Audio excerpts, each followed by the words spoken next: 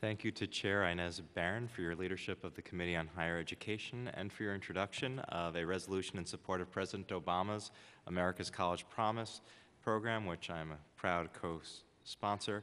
Thank you to CUNY's Hunter School of Social Work for my graduate students in social work who are doing their field placements in my office and as we speak are helping thousands of my constituents every year. Thank you to CUNY Law School for the free housing clinic that I currently offer in my office on Thursdays every other week. And thank you to CUNY's faculty, staff, and retirees like my mother for all that you do every day. I'm Councilmember Ben Kallos. I'm a graduate of not one but two public universities in New York. And without a public option, I could not have afforded to pay for higher education. But sadly, I, like so many Americans, remain saddled with debt that at times can be crushing. I've been advocating for free CUNY and debt forgiveness for some time now. President Obama has proposed the America's College Promise, offering free community college to many students, and Governor Cuomo has proposed debt forgiveness for college graduates whose income remain low after graduation. That's public uh, university graduates. Uh, does CUNY support these initiatives, and how much will it cost to implement? And I'm just going to follow along with my additional two questions, which is, According to data from CUNY, 58% of full-time undergraduates are receiving enough federal or state tuition assistance to attend CUNY tuition free, with many more receiving partial tuition assistance uh, rather than just trying to figure out uh, the cost piece by piece, what additional resources would CUNY need or funding in order to provide all CUNY students to earn a four-year degree tuition free? And last but not least, in terms of return on investment, how much more do CUNY graduates make with an associate's degree, college degree, or graduate degree than they would with no degree? Okay. Thanks, Council Member uh, Kallos. Um, I'll talk about the, the um, programs at the federal level and, and, at the state level, and then talk a, a little bit about, um, you know, your other question about, you know, what a free CUNY might, might look like. Um, so at the federal level, as you mentioned, President Obama proposed um, America's College Promise, which would um, call for essentially the first two years of community college to be free to students who have a 2.5 grade point average um, over that time. Um, and as you mentioned, uh, Chair Barron um, had a hearing on, on this last week, and certainly grateful to, to, to the chair for, for calling attention to this, uh, to this issue of access to community colleges, and we're certainly grateful that President Obama is calling attention um, to the needs of community colleges. I think, it's great that um, on the federal level that folks are focusing on the community colleges because when you look throughout the country, um, you know, the overwhelming majority of students are in, are in community colleges, so they, they are a, a place of need.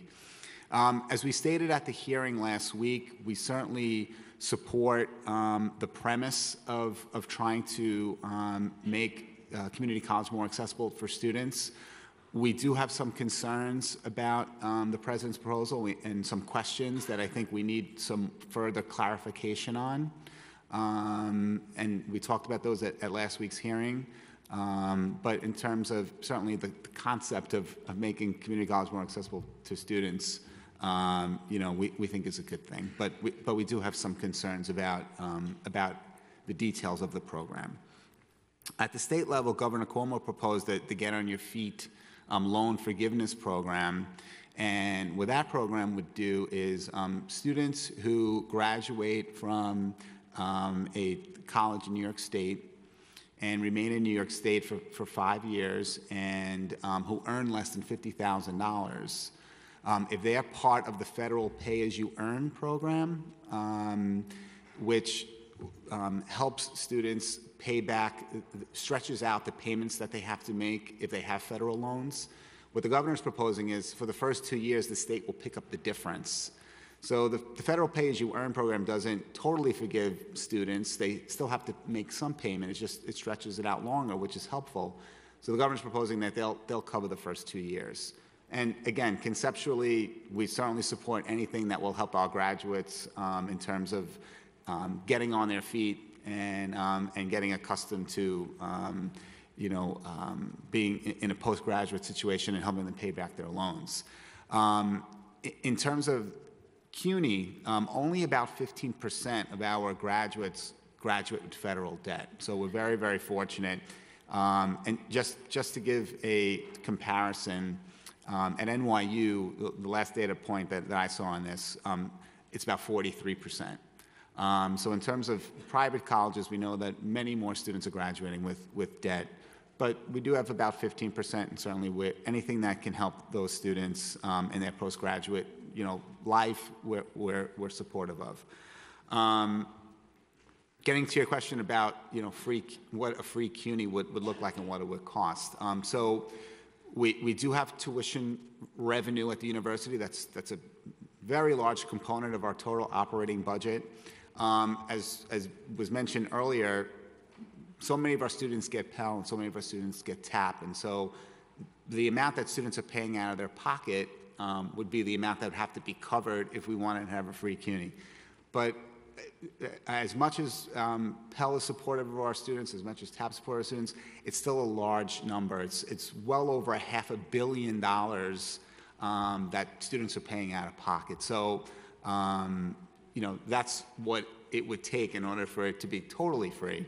Um, but again, anything that we can that we can do to, to provide additional access to the university, we're certainly willing to, to listen to and to consider. And then the, the final piece of that was just the return on investment. Oh, I'm Uh, sorry. So we, we, as a government, have to invest our dollars, so uh, do CUNY graduates of associate's degrees, college degrees, or graduate degrees earn more income than somebody without any degree? And uh, do you have uh, those estimates? Yeah, we'll have to get back to you on that, council member. Um, we, we'll, we'll get that data and we'll, we'll share it with you and with the rest of the committee.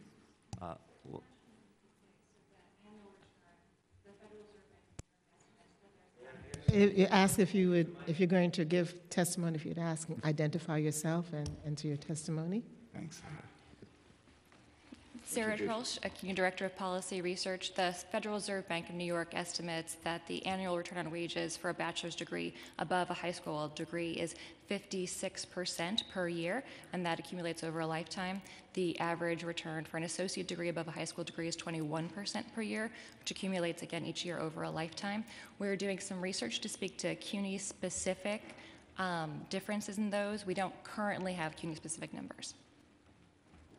Thank you very much. Uh, So it sounds like since our city earns its expense revenue, a $77 billion budget, in large part to income tax, uh, something we could do short of having more billionaires would be more New Yorkers with a CUNY education earning a living wage, uh, which would help build our base. And I think, uh, last but not least, I'm working on making our government as transparent as possible, and I've been lucky to have support from MIT, uh, now NYU's GovLab, but um, as a graduate of a public university, I would really love to have support from CUNY. So beyond the CUNY Law School support and the CUNY uh, Hunter uh, Social Work School support, uh, to the extent CUNY has uh, students who are interested in making their government more transparent, I would uh, be honored and lucky to have your support. Thank you.